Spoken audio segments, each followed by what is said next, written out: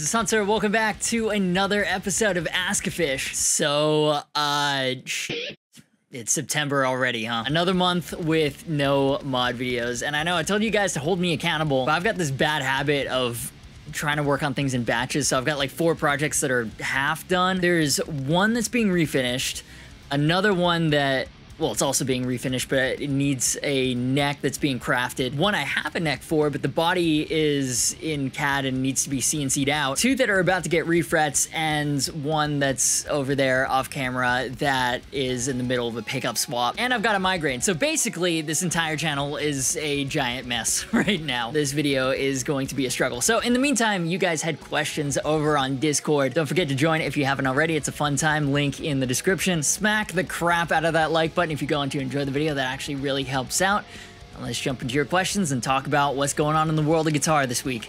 Francesco Barbaro says, and now Mark has a leaked black Les Paul Modern loaded with a pair of Dominions. Yeah, well, um, not really leaked, but so it's an update to the previous episode of Ask Fish, which you should definitely check out if you haven't already, where we talked about how Mark Morton has left Jackson and is now a Gibson artist. I mean, it's just wild. He's been a Jackson guy forever. Every time you saw him or Lamb of God on a magazine cover, he had his red quilt Jackson Dominion with him. Every music video, every live video, Jackson Dominion, or at least some sort of Jackson. I think he had a Jackson V in Ruin. Either way, I remember watching a rack of Jackson video he did back in like 2009 which is prehistoric in terms of the internet. And this video on the Jackson Guitars channel, less than a year old, didn't age too well. Lamb of God has been one of my top three favorite bands forever. And so I've been following their gear situation closely for years. Will Adler's pretty much the sole reason why I've got an ESP USA Eclipse being built right now. And I mean, Mark Morton has been synonymous with Jackson for the longest time. It's wild that he's a Gibson artist now. It kind of came out of nowhere. It seems like a really sudden breakup, but there he is. Gibson posted on Facebook, official confirmation. And I laid out my case for what I think is a first leak of a Mark Morton signature model. He's now posted a picture of another Les Paul. Last time it was his red quilt custom shop standard. This time it's a black Gibson USA Les Paul Modern modded with his signature DiMarzio Dominion pickups. It's at this time I would like to point out in that infamous Cesar G picture where he's posing with that suspiciously Hatfieldy aged white 84 Explorer with the Kirk Hammett prototypes in the background. The two Les Pauls on the rack, I think are Mark Morton signature prototypes, are in red quilt and in black. Very interesting. Les Paul Moderns also have the modern neck heel, which I'm not a huge fan of, but it means that it only has the top binding. So it's possible that his upcoming signature will have those split block Super 400 inlays with a modern neck heel, right? Everyone got their tinfoil hat on, everything's lining up. But that would be cool. There's already a lot of signatures based on the Les Paul standard, but none based on the Les Paul Modern. So a Mark Morton signature Les Paul Modern that would be a first for Gibson. Now, some people are like, why are you even talking about this? We've got no concrete details at all. It's just speculation. Yes, but it's because it's fun.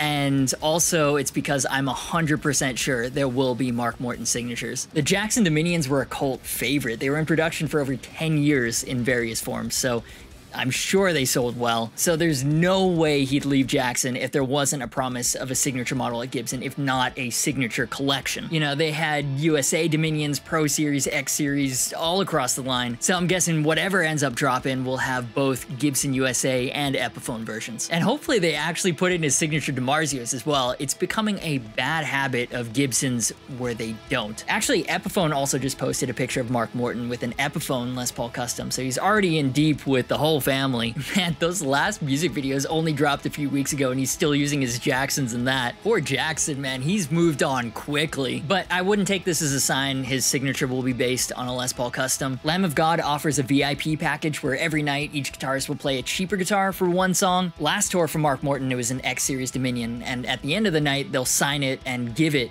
to the fan. That's such an epic VIP package, and it seems like this time it'll be an Epiphone Les Paul custom, right? Because they're not going to give out a custom shop standard every night. That's all that is. Back to potential upcoming signatures though. Besides just a Les Paul, I hope they also take this opportunity to do something a little more interesting, something more Dominion-esque but Gibson, a Firebird modern maybe with the bound red quilt top, ebony fingerboard, the split block inlays, locking tuners, compound fingerboard radius. How cool would that be? Gibson, I'll let you have that one for free. Just make it happen. Anyways, getting carried away with the possibilities and speculation of a Mark Morton signature collection now. Again, I'll ask you, now that he's officially confirmed as a Gibson artist, what do you think of the potentially leaked Mark Morton Les Pauls, and what do you hope to see out of a Mark Morton Gibson or Epiphone signature? They have a new album coming out, new tour starting next week, which I'm really excited about. So there's a lot of buzz around the band. You gotta wonder what's happening with Willie Adler's signature situation? He's definitely not leaving ESP, although I thought the same thing about Mark Morton and Jackson. But no, everyone calm down. He's still on the ESP site. The Adler signatures are still for sale. The LTD Warbird is in stock at Guitar Center. It's actually a really cool guitar because it's an Eclipse with a bare maple neck and it's got the Fishman Moderns. But it's wild his signature pickups have been out for five years and you still can't buy a guitar with them if you're not willing to shell out $9,000 for the Japanese ESP original. They've got to drop a new signature Willie Adler LTD at some point, right? It's been over half a decade since the Warbird launched. In fairness, he still uses the distressed Warbird a lot. It's in the Nevermore video and all the quarantine sessions.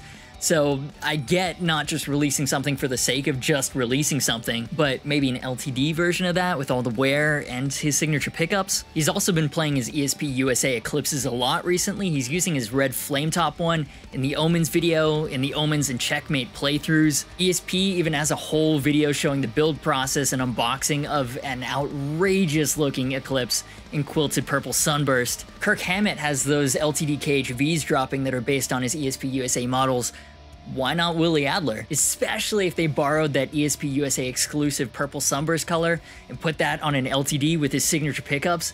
That'd be very, very, very cool. But yeah, haven't heard any rumors or anything about a new Adler signature. It's just been a suspiciously long time since we've seen anything fresh. So yeah, even fewer details on that one, but what do you guys think of that whole situation? You know what is fresh though?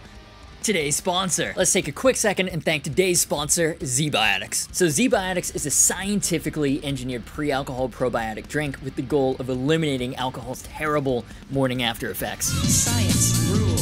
So here's how it works. When you're responsibly enjoying one or more deserved drinks at the end of a tough week, a byproduct of that alcohol is a toxin called acetaldehyde. So what they've done is use the power of science to create a probiotic that you take before you drink and it works throughout the night by producing an enzyme that breaks acetaldehyde down. Gives your liver some backup. Combine this with proper sleep and hydration, you wake up ready to make the most of the next day. And I can personally attest to it. I don't drink too often because I'm really susceptible to the negative effects of alcohol. Sometimes even a single beer can be brutal after like an hour. But using ZBiotics, it's crazy. I wake up after having a responsibly fun night I feel great, I'm productive. And it's not just me, check this out. Jake Sachs, he's a subscriber, he's getting married, He's awesome. His fiance is also sensitive to alcohol's negative effects, but for a bachelor party, she took ZBiotics and quote, she was able to enjoy drinking again without feeling like shit the next day. Now, I'm by no means encouraging binge drinking. I'm just saying if you're like me or Jake's fiance, ZBiotics helps. So if you want to see why so many people trust ZBiotics on fun nights without giving up the next day, use my link zbiotics.com slash agufish and get 15% off by using the code agufish. There's also a 100% money back guarantee, so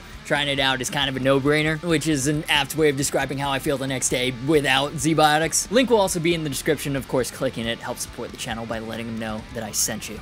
Deacon asks, thoughts on the possibility of Mike Stringer of Spiritbox leaving his Aristides guitars and becoming a part of the Fender family of artists. He's recently been seen with a few EVH 5150s and a Jackson, along with Fender's artist marketing manager posting about working with him. Oh man, so firstly, finally got around to listening to Spiritbox, downloaded Eternal Blue for the flight, holy shit, they sound pissed. It's awesome, and Yellow Jacket is a fucking jam. To be honest, I didn't even know that Mike Stringer was an Aristides guy until you mentioned it. I'm a new arrival to the Spiritbox fan base, don't gatekeep me, bro. I've just taken a look at what you're talking about. Mike Stringer posted his rig up on Instagram, and holy shit, it looks like something fucking SpaceX would be proud of. This is a modern day metal Stonehenge, a fucking monument to huge metal tone. What I'm saying is it's glorious. As for him leaving Aristides and going to Jackson, that would be huge. I've been saying for a while that modern Jackson guitars kind of lack identity. Like their old school shapes are obviously iconic. They have a legacy that is not going anywhere. I want to say dad metal guitars, which as a new dad, I feel like I'm entitled to poke fun at now, but there's always a subsection of people who get mad when I use that term so I guess I won't. We move. But yeah, they're doing completely fine on their dad metal, I mean, old school metal offerings. You know the ones I mean, the pointy angled headstock, Seymour Duncan JBs, Floyds. Their modern shapes though, they're a little soulless. Funnily enough, the last one I demoed that I thought was really boring is the one that Mike's using on tour, so what the f do I know? But no, I think that Spiritbox going to Jackson is a great thing. One, good for Spiritbox and good for Mike Stringer. They just keep going from win to win, and it's increasingly rare for a metal band to explode in the way that they have. You love to see it. And two, this is what Fender and Gibson, for that matter, should be doing. They have their legacies, but you want to remain relevant long term in both a cultural and product sense, you have to partner up with the popular modern guitar bass bands, the current generation of guitarists that are pushing the boundaries of the craft. You know, the ones making music the older generation says requires no talent. If you're not familiar with them, Aristides aren't made of wood. They're one solid piece of an ultra durable man made composite. They've got stainless steel frets, and I believe the ones he played had Evertune. Pretty much that's the most modern metal guitar you can get. And hopefully now he's bringing some of that influence and some of those ideas of what modern metalcore and deathcore players want to Jackson. Obviously, they can't use Arium, that's Aristides' proprietary material, but maybe it inspires them to look into their own wood alternatives that, with their resources, they can bring to the production level. At the very least, with what Schecter and LTD are doing, they need to bring stainless steel frets to the production level. Josh Smith of Northlane, which are an awesome metal band out of Australia, has been posting a suspicious number of times about this blue seven string Evertune baritone with a Fender headstock with his signature bare knuckle impulse on the bridge. And it could be a custom, but he kind of not so subtly leaked it in a Gear Chat video with Kian Hauschman, who you should also follow if you enjoy modern metalcore because the dude is a fucking beast. In general, Jackson has a reasonable track record with bringing modern metal guys on board, right? Misha Mansour of Periphery's been with them a while. His signature is basically a bolt-on super strat with a pickup upgrade and that seems to be what Jackson's based their entire modern lineup on. Corey from Trivium, Christian from Gojira, and Mick Thompson from Slipknot, all of Jackson's signatures, which are still relevant, but it's great they've added Josh Smith and now hopefully Mike Stringer from the very latest crop of guitar players and push Jackson's modern guitars forward. As a guitarist, that's really what you want to see. You want to see Jackson compete at the same level as LTD, as Schecter. Look, they've got the old school offering sorted, and as a fan of the ultra modern, this is the most interesting Jackson has ever been. And it's not even like they've officially dropped anything yet, but that's how disinterested I've been in them and now there's a glimmer of hope. But yeah, that's what's going on. Here's where I'll throw it to you. What are your thoughts on Jackson Guitars right now, on their relationship with modern metal? What do you think of Mike Stringer joining them? Thoughts on Josh Smith's upcoming signature? Let me know what you're thinking. New World Man asks, when are we gonna get some amp reviews? Yeah, so if you've been following me on Instagram, you know that I've gotten a couple of new amps in recently. And if you aren't following me, why not? I've gotten one that I've wanted for a long time. It's a certain British flavor that's been missing from Tone Mountain. Just use it for one of the upcoming demos and god damn, it sounds so good. Then I got an amp from another British company that I've never tried any product from before, so that's exciting. Been working on that demo this week, and that's partially why I'm behind on the mod video. And I've also got a couple more amps on the way, one from an American company, and I haven't featured one of their amps on the channel since 2018, I want to say. Then I just had a call today with a contact from another British company um, and they should be building an amp for us to check out together soon. I've never tried one of their tube heads either, and they've been back ordered for the last like six months. I was supposed to check one out with you guys in uh, like January, but then it got intercepted by Scott Ian of Anthrax. And I told my contact, you let that motherfucker Scott Ian know that I deeply respect his career and Anthrax fucking slaps. He never ended up using it for anything though. My contact said that he saw the box in a couple of the videos he did on Instagram with his son playing drums, but it doesn't seem like he opened it, so I don't know, maybe he could have shared. It's Scott Ian of Anthrax though, so you know, fair enough. But yeah, man, like the tube shortage plus the guitar boom at the same time, it was impossible to get any big amps to demo. But just this week, I realized that I never actually put together a video for the Revv Generator 120. I don't know how that happened because it's pretty much the perfect studio amp. It covers so much ground and all four channels are great. You got your pure clean, you got your really vintagey classic crunch, your super tight high gain rhythm, and a fat, angry boosted recto-esque lead channel, built-in torpedo capture with direct XLR out, so you've got unlimited customization through impulse responses and cab sims. It's like an infinitely customizable virtual combo if you want to think of it that way. I mean, you can literally have this amp and your interface, and that's it. I mean, cables, obviously, but that's your studio sorted. If I were just starting out from scratch today, that's that's what I'm getting. Is legitimately so useful and sounds so good for anything you would need it for. I'm thinking I should make that video. I love that amp. But yeah, getting back into the amp demo game, there's amps on the way. There's amps actually sitting right here, just off camera. And I've actually got one already filmed and pretty much edited. It's an update to an American legend. It's been done for weeks. I've just literally been waiting to show you guys because it's not officially out yet. But it's cool, man. After like two years of everything being out of stock, it seems like production is now finally starting to catch up now that the boom is somewhat over. Just ask Fender, the end of the boom for them has been rough. There's actually inventory available for a demo, which after the last two years is a wild concept. So I'm getting to it, they just take a while to film, even more so than guitar demos. And they really don't do as well for views, but I've come to realize who gives it? Big ass tube heads, they're expensive, they're heavy, they're inefficient, but they're just so fucking cool, man. At the end of the day, I just want to check out some cool with you guys, you know? That's really it. As much as I love tube amps, I didn't grow up around them. None of my friends are gearheads. And I feel like I'm just now starting to really scratch the surface of them. It's such a deep rabbit hole. There's so many iconic or highly regarded amps I still haven't tried yet. EVH 5153, Soldano SLO, Friedman B100 Deluxe, Diesel Herbert, pretty much anything from boutique amps distribution actually. But yeah, we're going balls deep into a ton of amp demos soon. So let me know one, any guesses as to what amps are coming up, and two, now that it's actually possible to get amps, what do you want to see on the channel? I'd love your input, like what's everybody curious about, what's everyone hyped about these days, and also your comments really help when I reach out to the amp makers or the amp distributors. Like it really helps when I can pull up screenshots and show them directly, hey, this is something that the community is curious or hyped about. Nick Webb asks, you say that Lamb of God isn't a modern enough band for where you think Gibson should be going. Who do you think would be someone they should sign up? Who would you like to see get the Gibson signature treatment? Well, that's not quite what I was saying, or at least not what I meant to say. The point I was making is, yeah, Lamb of God is a younger band than Megadeth and Metallica, but knowing Mark Morton's tastes and what his Dominions are like, they're still going to be quite traditional. I love Lamb of God, I love Les Pauls, so I'm excited, but will his signatures break new ground for Gibson guitars? Almost definitely not. And I wasn't saying that's necessarily a bad thing, but if you're not already a Gibson person, or at least Gibson curious, is a Les Paul with different pickups going to win you over?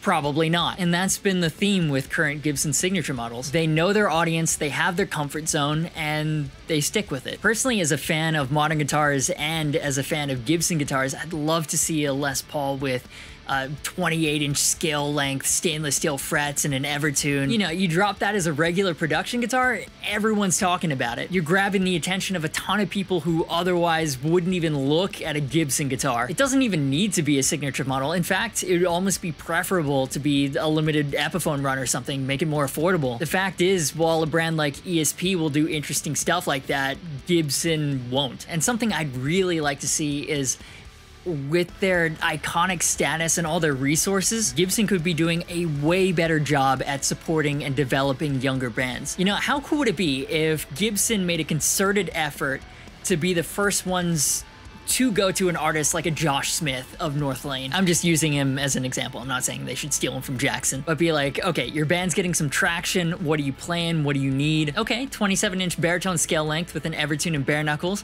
We can do that what do you think about that in an explorer shape? You know, supporting these younger bands, providing the tools they need to push musical boundaries. You know, I get it. Signing Kirk Hammett, that's a huge statement. That sells guitars, but Metallica doesn't need the same support in the same way that bands who are gaining a little bit of traction but haven't quite made it yet do. You know, barely any of the younger metal bands I listen to play Gibsons and that should be alarming to them. It just seems like Gibson has completely given up with being on the cutting edge of music and on the cutting edge of guitar design in favor of being the legacy dad rock brand, which I guess fair enough. They sell a shitload of guitars because their target audience has disposable income. But like, where's that scrappy startup energy or whatever JC was talking about when he took over as CEO? Finn McKenty has a great video where he argues that mainstream rock and metal culture has become so traditionalist and obsessed with the past, which is kind of funny because the genre is rooted in counterculture, but now there's all these rules on how things should be done. And look, it's awesome that rock and metal fans are so loyal to the bands that we love. We'll support them for decades and not just throw them aside when the next shiny thing comes along. At the same time, it's a real problem for the long term. There aren't that many young bands that are being properly developed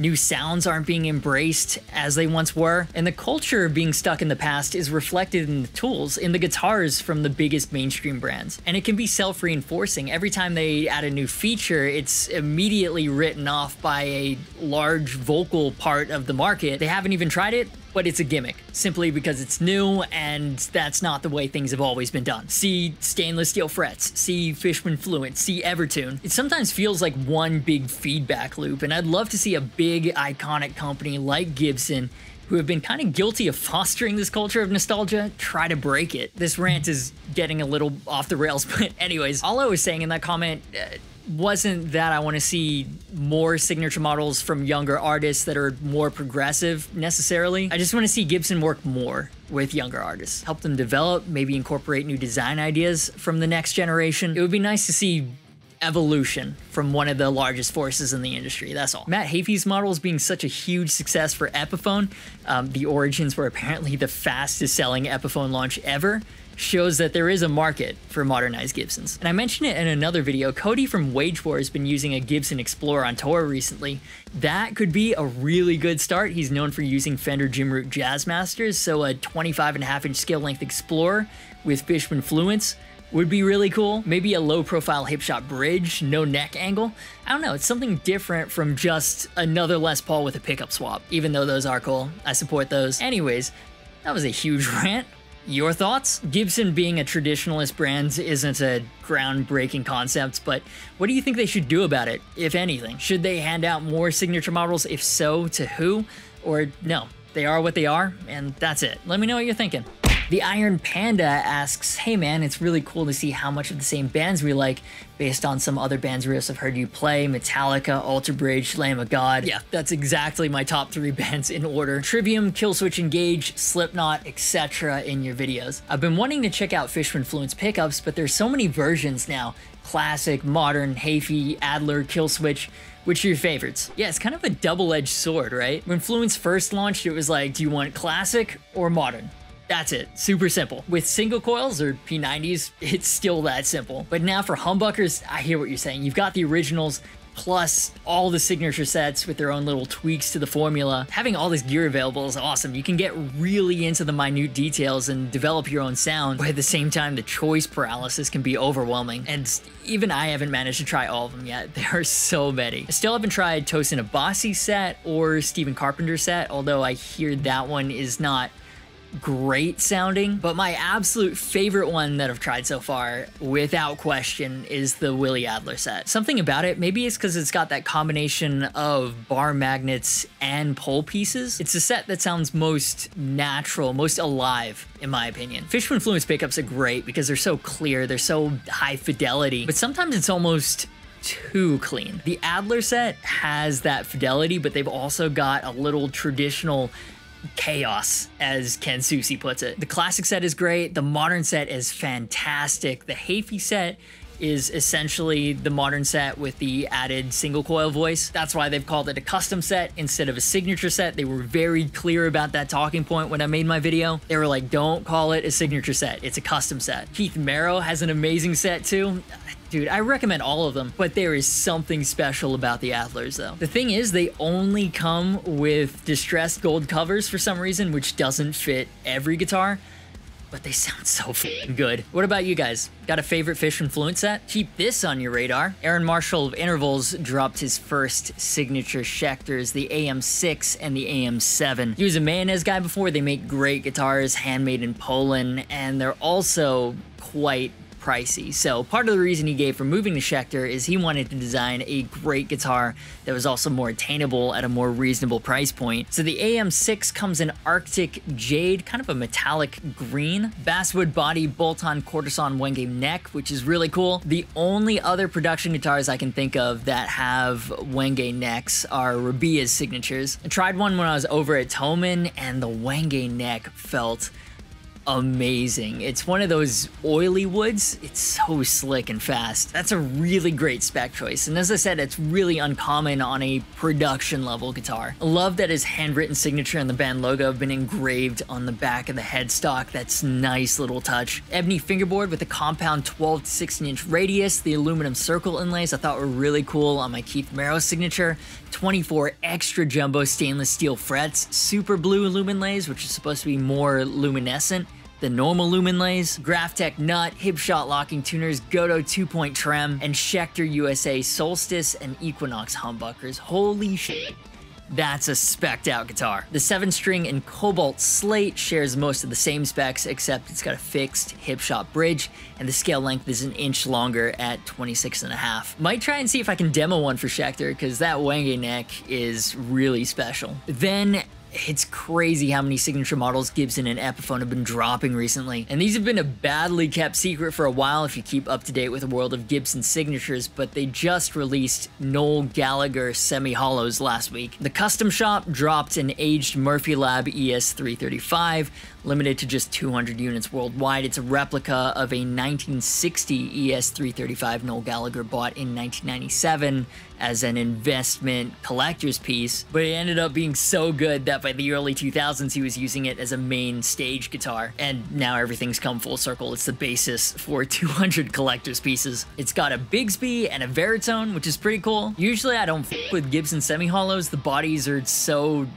bulbous, but there's something about an aged red one with a Bigsby it really cooks. Yes, that was a Back to the Future reference. and on the Epiphone side, if you're like me and for some reason don't have the $10,000 to afford the Murphy Lab, they've dropped a Riviera in dark wine red. $8.99 for both right and left-handed versions because fun fact, Noel Gallagher plays right-handed, but is actually naturally left-handed, so it's nice fan service that Epiphone's done that. I'll be honest, I have no idea what the difference is between a Riviera and an ES335, besides that the Riviera is originally an Epiphone model, ES335 is all Gibson. In fact, the Noel Gallagher model looks closer to Epiphone's 335 than it does the Epi Riviera, we move. Then, in case you missed it, this week I tried the carbon fiber smart guitar that's been all over the internet, so you don't have to. And in case you missed last Ask Fish, we talked about what I think is our first teased glimpse at Mark Morton's signature Les Pauls. We talked about new Fender and new Friedman launches, and we talked about Fulltone's gloriously tone deaf closing statement. Link to both those in the cards and in the description. And that will do it for this week's episode of Ask Fish. Huge shout out to my amazing patrons for supporting the channel. Their names are on the screen right now. If you want to be awesome as well, support the channel and get bonus extras, link to that in the description. YouTube has also enabled a membership thing on this channel. I'm adding custom emoticons, but in the meantime, it's a nice way to leave a tip if you're enjoying the content. Social media, Discord, and affiliate links are in the description. As always, thank you so much for watching. You've been awesome, and I will see you for the next video.